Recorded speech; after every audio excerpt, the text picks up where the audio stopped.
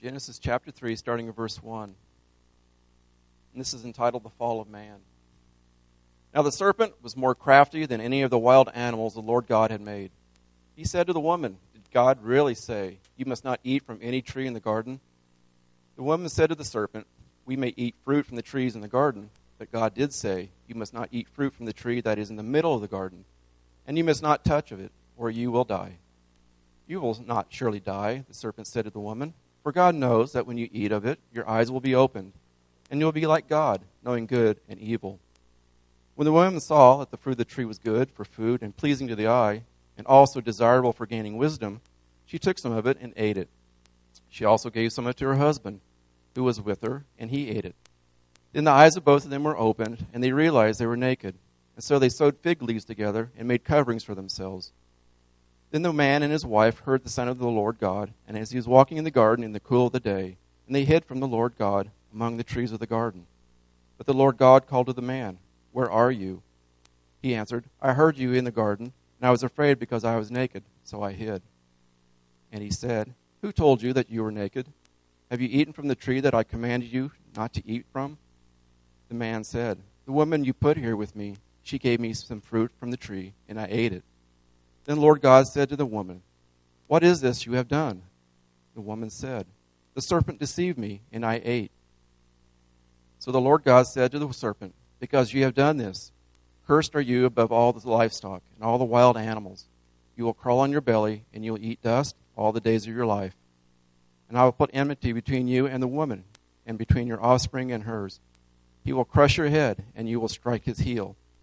To the, to the woman he said, I will greatly increase your pains in childbearing, and with pain you will give birth to children.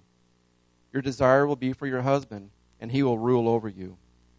To Adam he said, Because you listened to your wife and ate from the tree about which I commanded you, you must not eat of it. Cursed is the ground because of you. Through painful toil you will eat of it all the days of your life. It will produce thorns and thistles for you, and you will eat the plants of the field. By the sweat of your brow you will eat your food until it return to the ground, since it you were taken. For dust you are, and to dust you will return. Adam named his wife Eve because she would become the mother of all the living. The Lord God made garments of skin for Adam and his wife and clothed them. And the Lord God said, The man has now become like one of us, knowing good and evil. He must not be allowed to reach out his hand and take also from the tree of life and eat and live forever. So the Lord God banished him from the Garden of Eden to work the ground from which he had been taken. Our second passage is now is in Exodus chapter 3,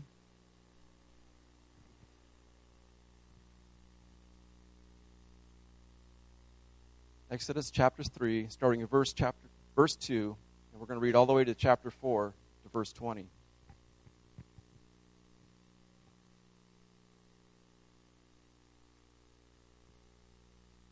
Exodus chapter 3, starting with verse 2.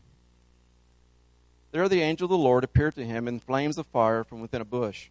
Moses saw that though the bush was on fire, it did not burn up. So Moses thought, I will go over and see this strange sight, why the bush does not burn up. When the Lord saw that he had gone over to look, God called to him within the bush, Moses, Moses. Moses said, Here I am. Do not come any closer, God said. Take off your sandals, for the place where you are standing is holy ground. Then he said, I am the God of your father, the God of Abraham, the God of Isaac, and the God of Jacob. At this, Moses hid his face because he was afraid to look at God. The Lord said, I have indeed seen the misery of my people in Egypt I've heard them crying out because of their slave drivers, and I'm concerned about their suffering.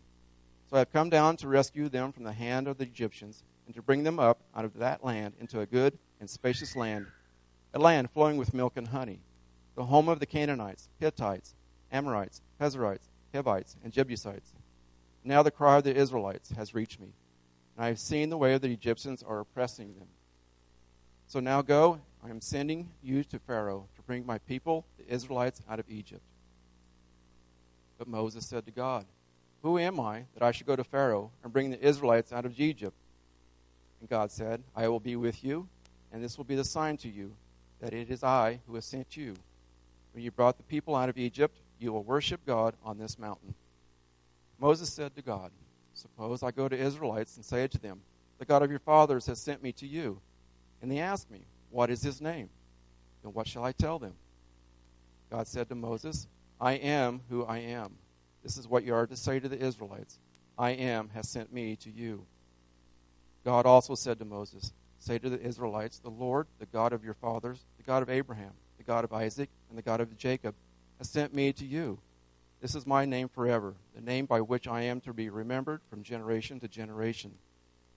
Go assemble the elders of Israel and say to them, The Lord, the God of your fathers, the God of Abraham, Isaac, and Jacob, appeared to me and said, I have watched over you and have seen what has been done to you in Egypt.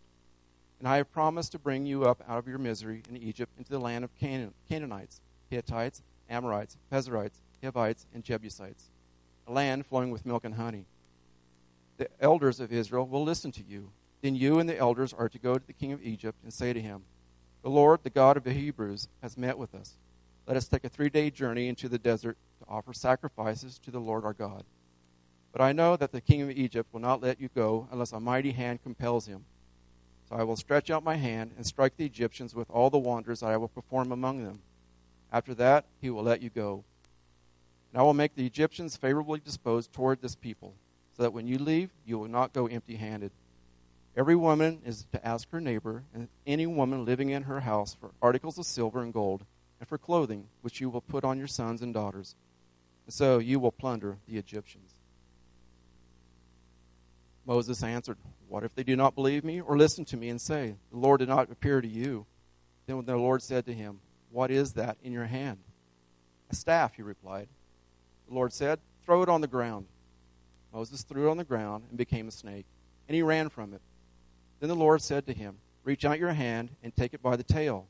So Moses reached out and took hold of the snake and turned it back into a staff in his hand. This, said the Lord, is so that they may believe that the Lord, the God of their fathers, the God of Abraham, the God of Isaac, and the God of Jacob, has appeared to you. Then the Lord said, Put your hand inside your cloak. So Moses put his hand into his cloak, and when he took it out, it was leprous, like snow. Now put it back into your cloaks, he said. So Moses put his hand back into his cloak, and when he took it out, it was restored like the rest of his flesh. Then the Lord said, If they do not believe you or pay attention to the first miraculous sign, they may believe the second.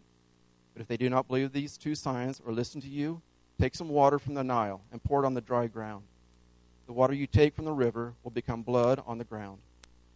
Moses said to the Lord, O Lord, I have never been eloquent, neither in the past, nor since you have spoken to your servant. I am slow of speech and tongue. The Lord said to him, Who gave man his mouth? Who makes him deaf or mute? Who gives him sight or makes him blind? Is it not I, the Lord? Now go, I will help you speak, and will teach you what to say. But Moses said, O Lord, please send someone else to do it. Then the Lord's anger burned against Moses, and he said, What about your brother, Aaron, the Levite? I know he can speak well. He is already on his way to meet you, and his heart will be glad when he sees you. You shall speak to him and put words in his mouth. I will help both of you speak, and will teach you what to do. He will speak to the people for you, and it will be as if you were his. Be, excuse me, will be as if he were your mouth, and as if you were God to him. But take this staff in your hand so you can perform miraculous signs with it. Then Moses went back to Jethro, his father in law, and said to him, Let me go back to my own people in Egypt to see if any of them are still alive. Jethro said, Go, I wish you well. Now the Lord, God, now the Lord had said to Moses, in Midian, Go back to Egypt, for all the men who wanted to kill you are dead. So Moses took his wife and sons and put them on a donkey and started back to Egypt. And he took the staff of God in his hand. And our final passage is in Romans chapter 13, 1 through 7.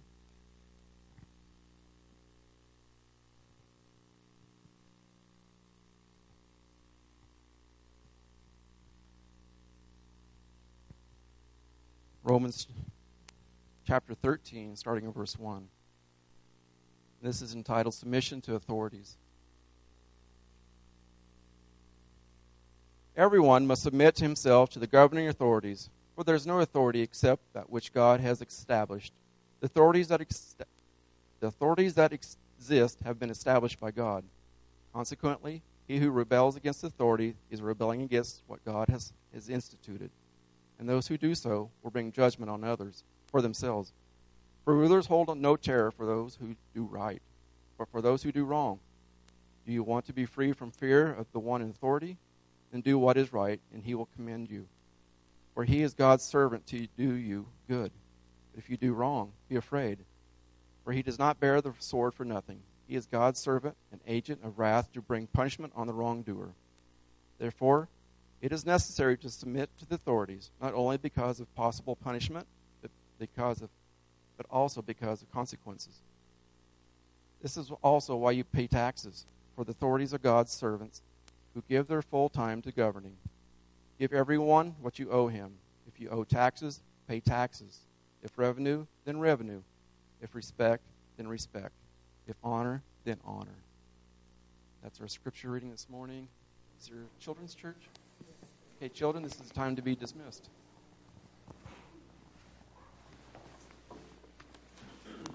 Thanks, Barry.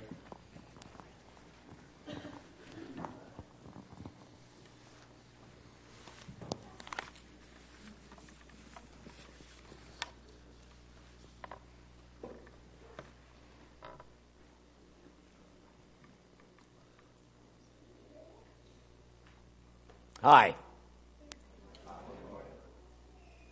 I'm glad you're here. You're welcome here.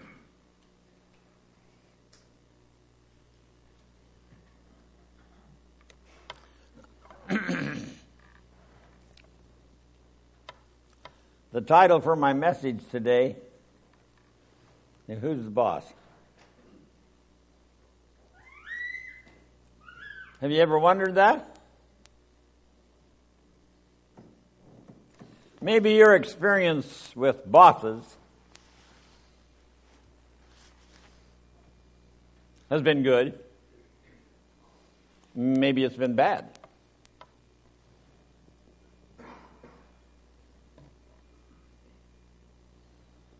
Maybe you're a little confused about uh, bosses. Maybe you'd like to be boss. You ever been a boss? Hod, you've never been a boss? oh, your wife's the boss. Oh, okay.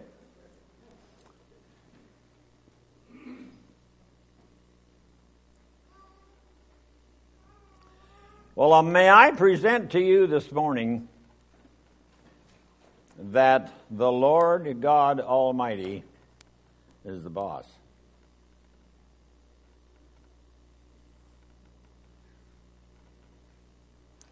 Now, isn't it interesting that we started out not liking that? Not respecting that. Not honoring that. Not obeying that.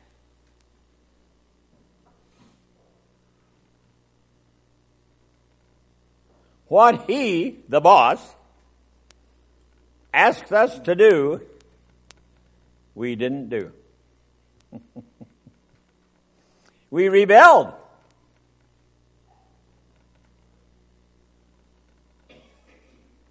Isn't it strange that the Lord of the universe, the Almighty God, the creator of all things,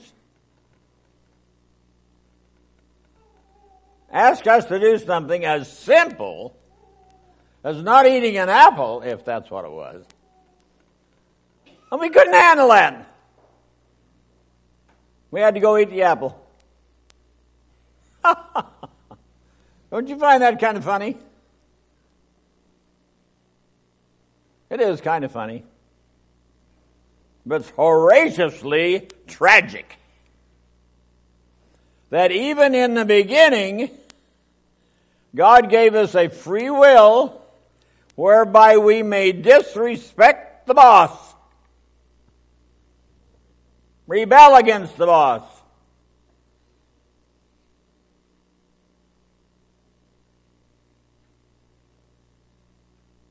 You know, I was high school principal for two years. That was long enough.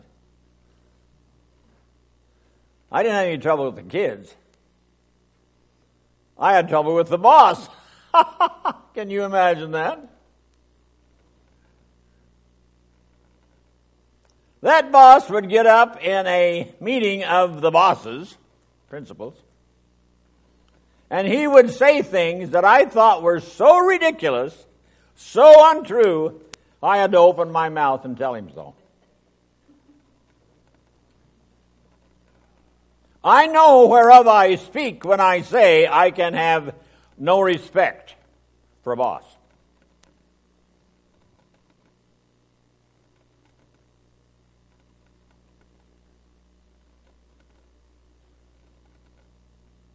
And I also know the problems that bosses have getting respect from their teachers.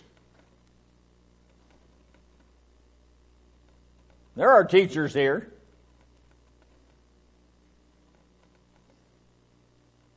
Do you respect your principal?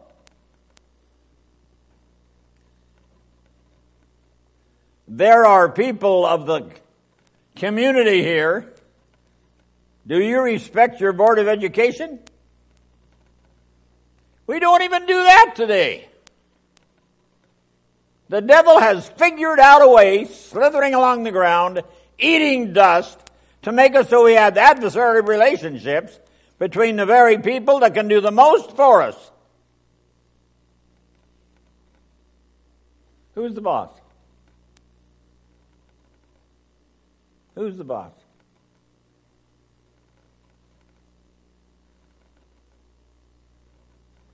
Maybe you've never been a boss and you'd like to be.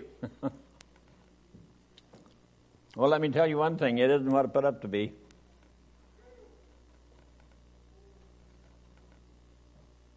Being a boss isn't an easy thing. You have to make decisions that people don't like. Really?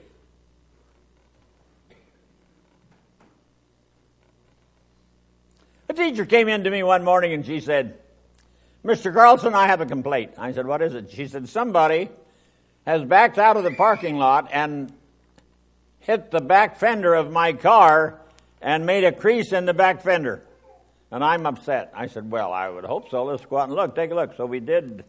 And there was one teacher in that high school who could have done that because her car was of such a color and such a height that it could do it, and nobody else had one like that.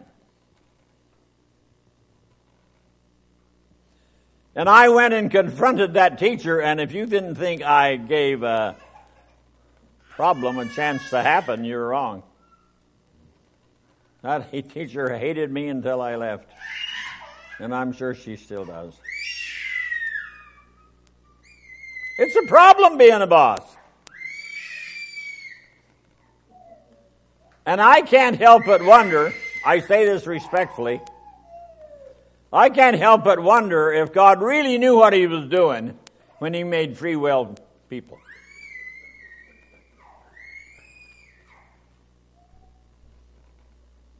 But you know he did. Because that is whereby he could find people who would respect and love him of their own free will. And that's the only way he could get it.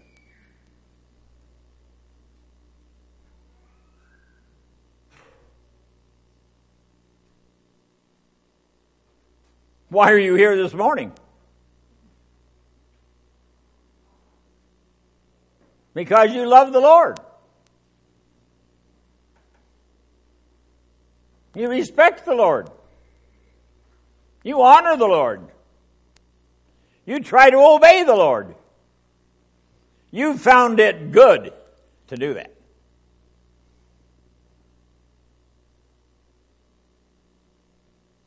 You see, our basic nature is what really battles this. And I start out with my basic nature when I was about one and a half years old. So did you. That baby just walked out of here.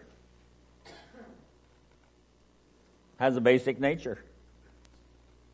She wants what she wants when she wants it.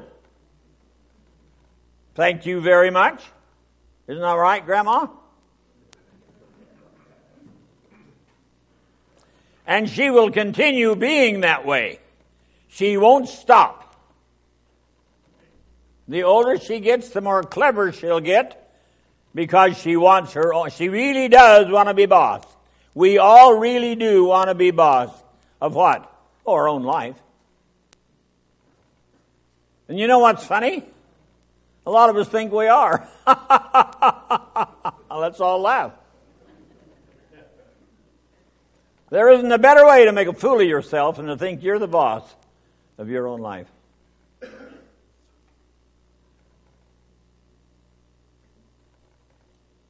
But I think a lot of you do.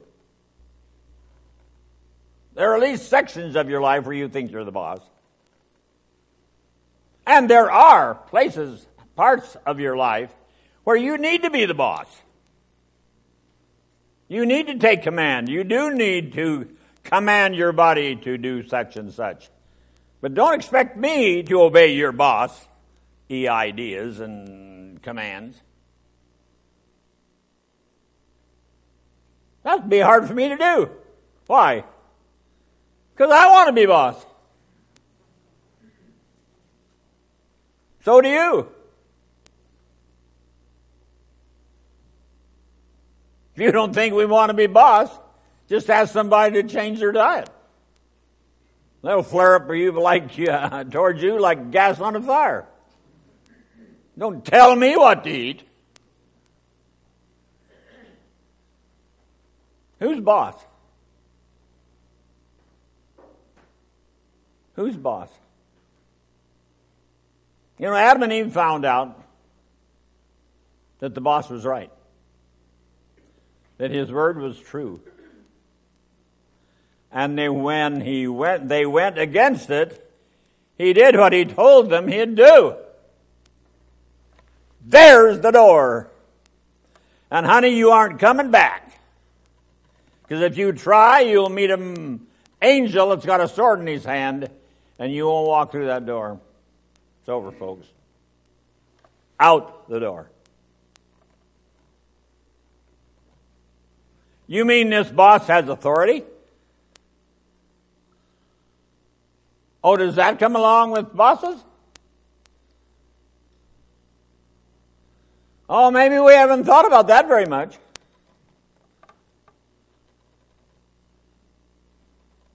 Do you think bosses have authority? Well, they might have. might have. The boss I'm talking about doesn't have any problem with that. And if we think he does, we're fooling ourselves. He has all kinds of authority.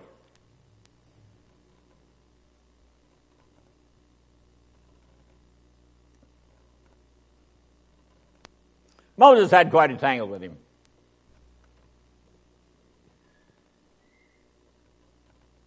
Moses decided to take things in his own hands, you know, it didn't work too good, so he ran away. Spent the next 40 years running around the desert trying to hide.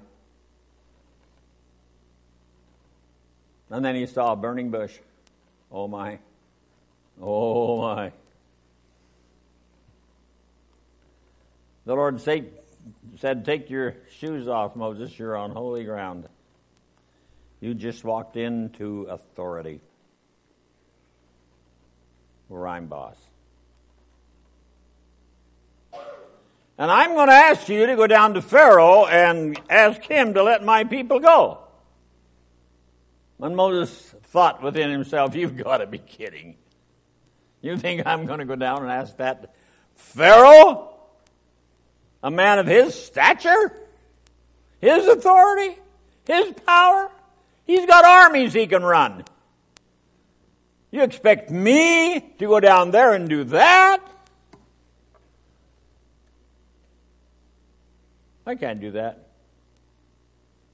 Oh, your folks, I mean, your people won't even believe me. If I go down there and say that I came from, you know, Abraham, Isaac, and Mo, they'll say, What are you talking about? We don't know who you are. Some of them will know him because they saw him kill that Egyptian. You're a murderer, that's who you are. You aren't going to tell us what to do. You're a mess. How do we know who you are? God said, Well, I'll show you a few tricks. Maybe you'll believe me. Throw down your stick. Put your hand in your shirt. Really? You can do that? Yeah, I can do that. Well, maybe you have authority. I, I, I, I can't talk, Lord. You can't talk? Who do you think gave you your voice? You think I don't know you can't talk? I knew before you said it because I've got Aaron already coming up here. I knew you'd deny that.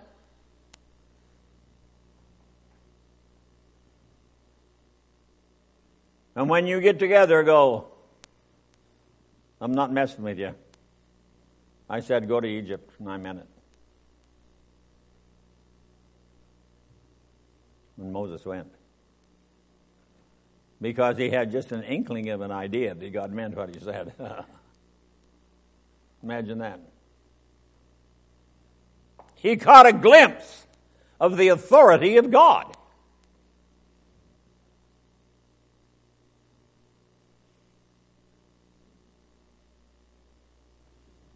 And may I be truthful and tell you that he's your boss.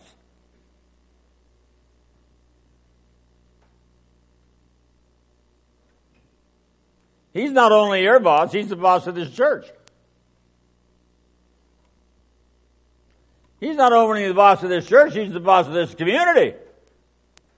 He's the boss of this state. He's the boss of this country. He's the boss of this world. No lawyer, you are really dinging now. He's no more the boss of the, I mean, how can the world be doing what it's doing? Well, how do I know? I'm not the boss.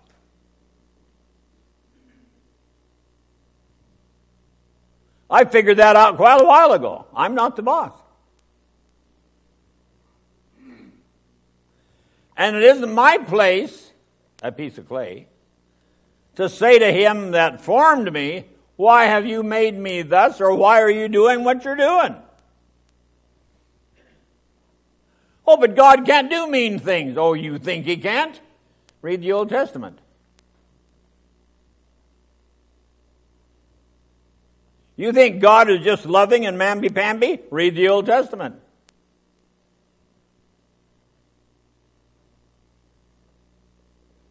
You think God doesn't deal with evil? Read the Old Testament. You think that God doesn't do with evil in your life? Look at it.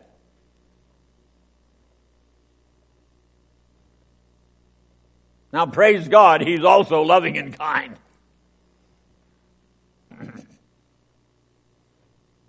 but He's very concerned with your welfare and therefore he's your boss.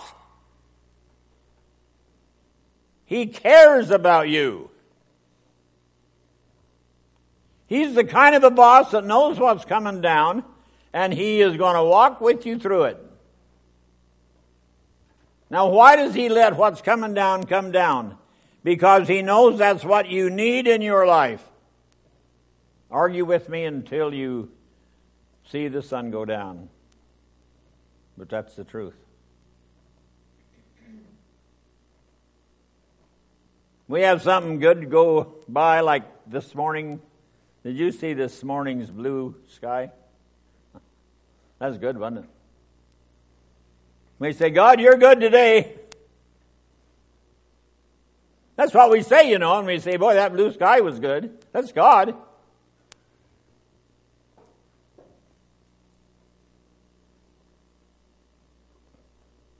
He cares about you.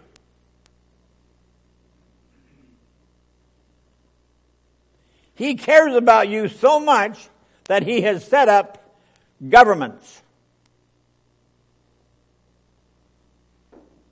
countries, governments, communities, churches, just for us. There isn't anything that proves to me the existence of God more than the fact that any place on earth you go, you will find laws to live by. That's a sociation.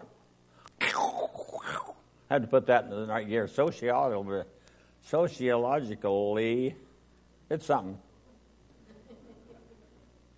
It's a fact. You can't go anywhere and not find laws to live from. Now, you think those laws are right? He didn't say I'd, I, didn't ask you if you thought those laws are right. I just happen to know they are. What?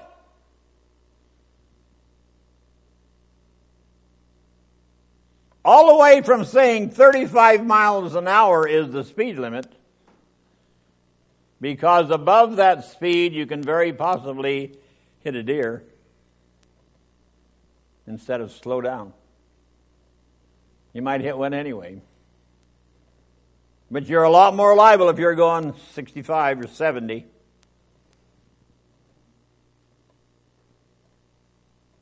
Hit a child. hit a little dog. There's a reason for 35 mile an hour speed limit. We set it up for your good. Do you like it? No, I don't care if you like it or not. It's for your good. Ooh. Ooh, I don't like that. Really? I struggle with that. I don't know about you.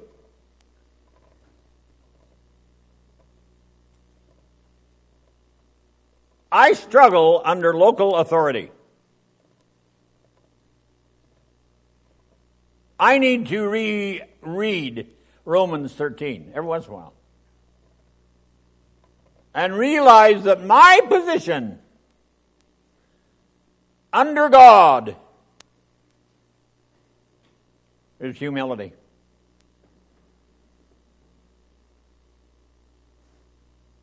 My position under God is humility.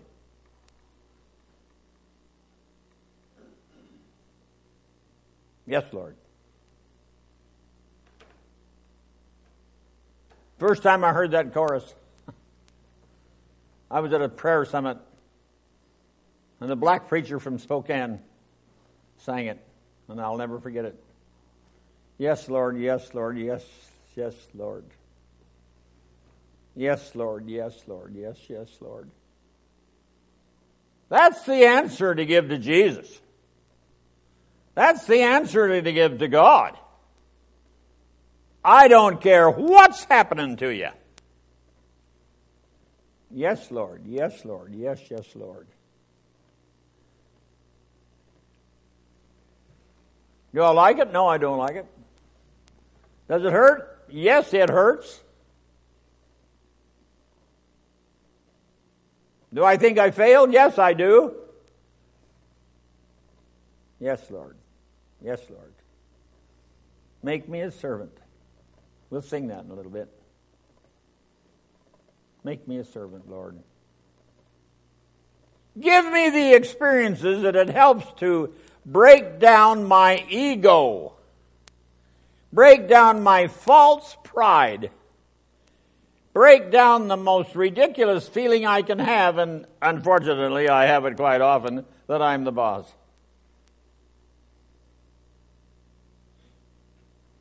Help me to be responsible, but help me to remember that I'm the boss, not the boss. God's the boss. So every morning I wake up and I say, Lord, I'm willing to do what you want me to do today. I accept the fact that you're the boss. I accept the fact that you love me. I accept the fact that you hate evil in me. I accept the fact that you have a lot of things that needs to be done in this world to help people. And I'm lazy.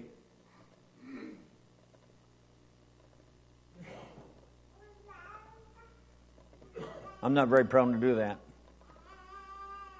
I kind of take care of my own stuff and let everybody else go. Lord, I'm willing. I give this day to you. And you do with me whatever you want to be done. I owe you the honor of a boss. I respect you, O Lord. I bow before you, O Lord.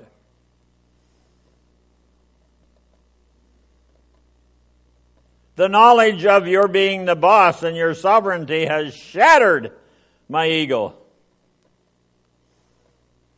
Has shattered my false feeling of authority. I thank you, Father, for our community. I thank you, Father, for our church.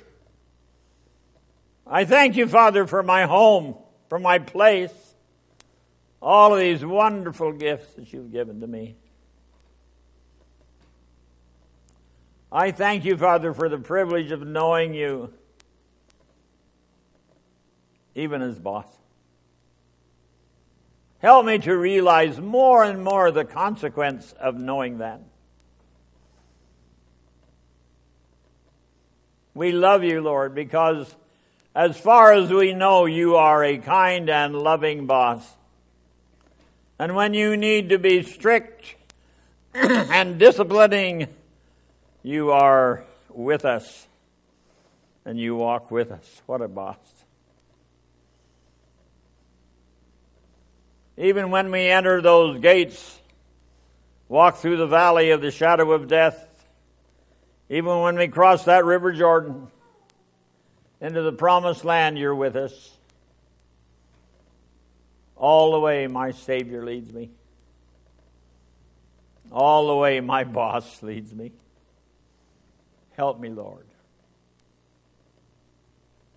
We ask this in Jesus' name. Amen.